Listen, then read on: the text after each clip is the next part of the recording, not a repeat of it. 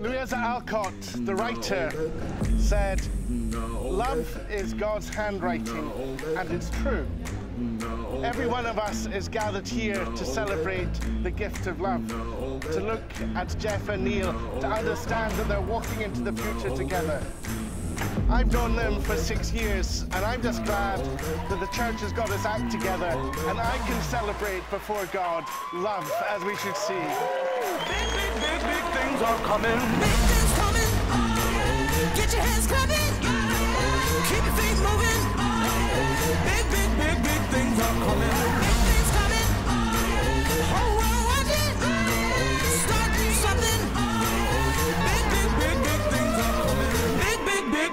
Things are coming. You go first. Okay. Pushing him over. Neil?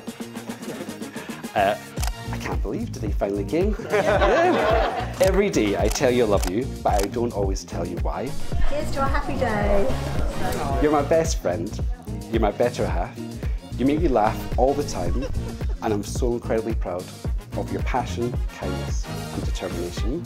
Neil, you're extremely strong minded, have a deep sense of social justice, but above all else, you have a huge heart that captures everyone you meet. Neil is a rare find. He's truly free from malice. He's a decent man. Neil and I met at university and we quickly hit it off because we had a lot in common. Our shared Aberdonian heritage. Um, we both enjoyed going to the pub whenever possible, and neither of us have had very many girlfriends. I want you to know, Neil, you're the most organised groom than my 537 weddings. I've never known a man like it.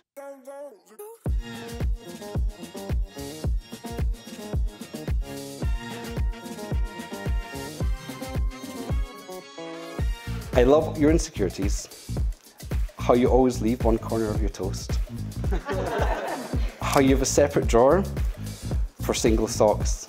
the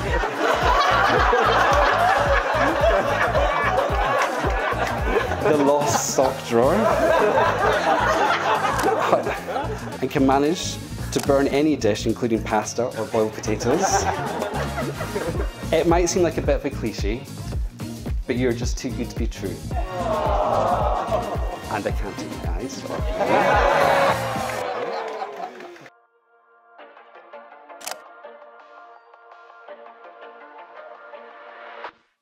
Jeff uh, has greatly impressed me uh, since I first met him as he runs his own business and he has in fact multiple projects on the go at any given time and it's brilliant to see his ideas come to fruition yet remaining humble and modest about his considerable achievements.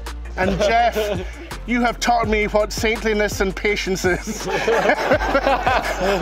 Jeff, you have the ability to make people you meet feel at ease, and that feels like a warm hug. Your drive and determination enables you to be so successful, and your kindness inspires me daily.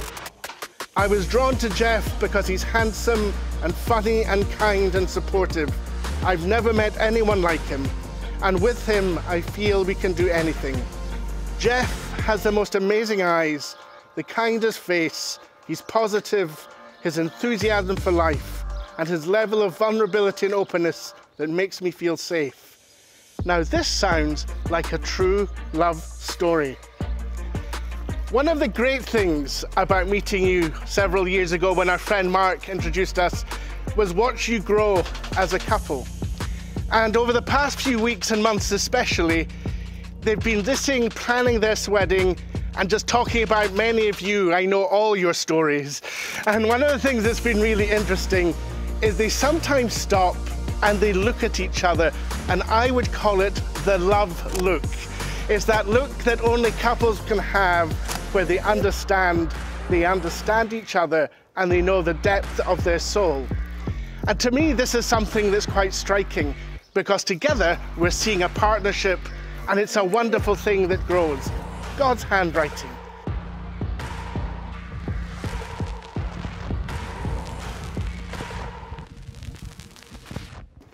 Uh, we actually want to start with a, a special mention Uh, it's fair to say that we wouldn't be here today if it weren't for the actions of two people.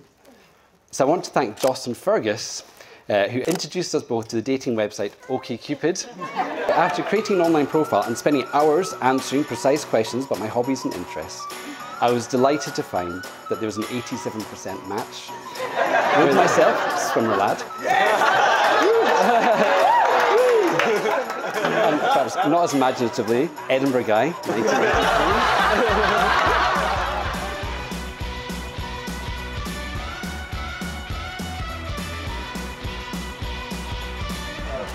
So hi everyone, um, I'm Lennox. Uh, I've known Neil for 13 years since we did our social work training together and I remember clearly the first time Neil told me about Jeff.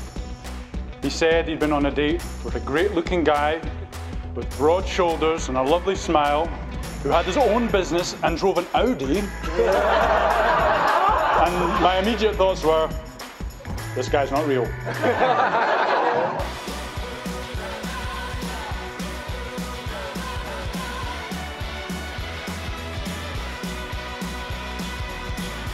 I remember when Neil first told me about Jeff, he described him as very handsome, with a kind nature that was unrivaled. I knew Jeff was different from the beginning. The way Neil spoke about Jeff gave me butterflies. Never mind Neil. Fun fact, he was very real and every bit as impressive as Neil described.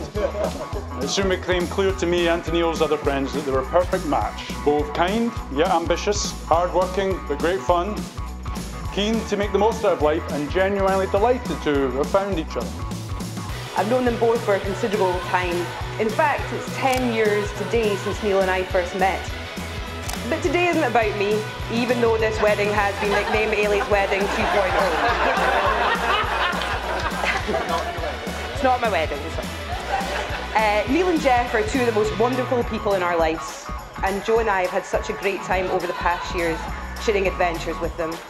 Individually, they enhance the lives of everyone they meet, and together they really are the definition of a power couple. Love is when you are old and memory fades, you can still recall that first touch, that first kill, kiss. kiss.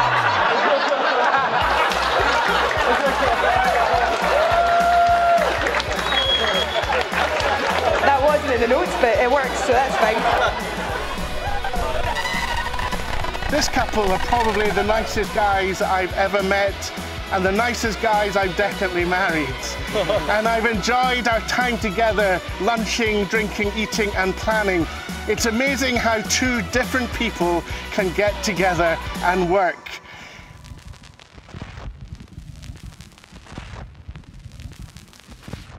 However,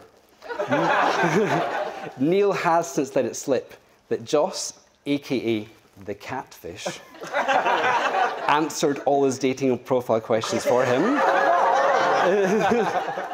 it's true. so, though Neil, although we aren't as musical or theatrical as Joss, it's still fair to say that thank you, Joss, for bringing him into my life, and Fergus too.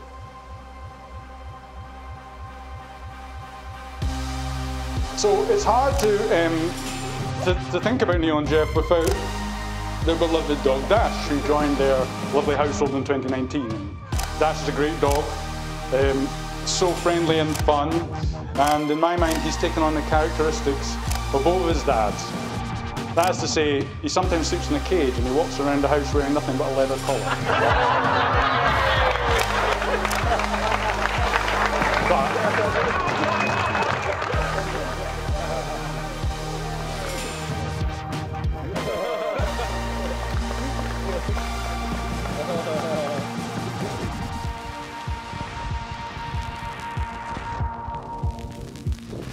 What I will love you until my dying day.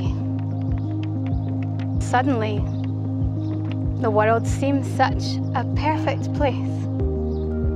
Suddenly, it moves with such a perfect grace. Suddenly, my life doesn't seem such a waste. It all revolves around you.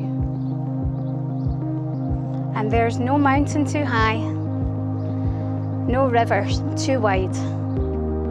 Sing out this song and I'll be there by your side. Storm clouds may gather and stars may collide. But I love you until the end of time. Come what may, come what may. I will love you until my dying day.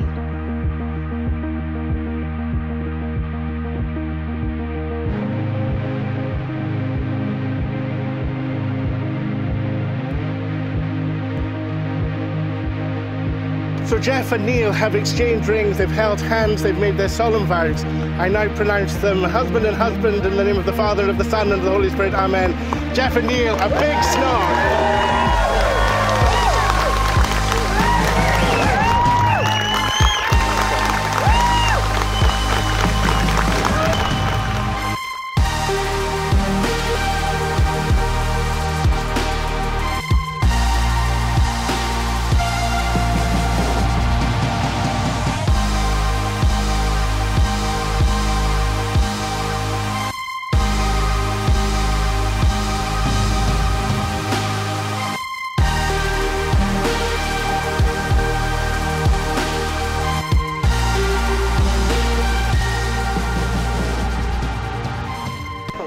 Some of you may know that Neil is a big fan of trashy TV.